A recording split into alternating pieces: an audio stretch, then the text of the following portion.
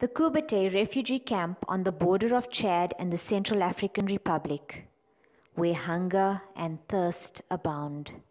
Your contributions have brought water to these forgotten people.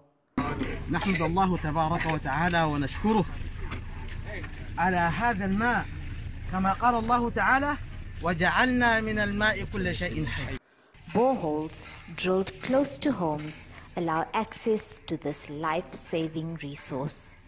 This means women in particular don't need to walk up to 10 kilometers a day to fetch water.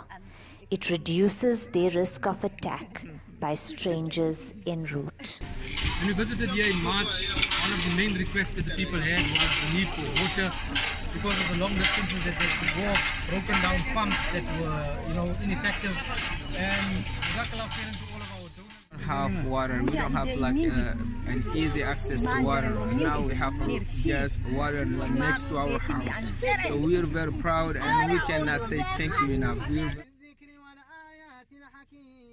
And ultimately, water provides life. You can too.